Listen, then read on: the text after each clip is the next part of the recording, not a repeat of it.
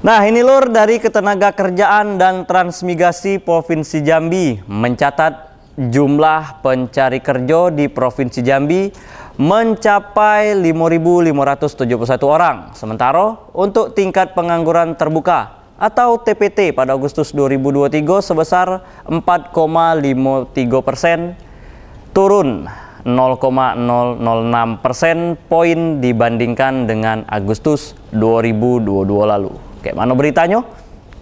Ini dia.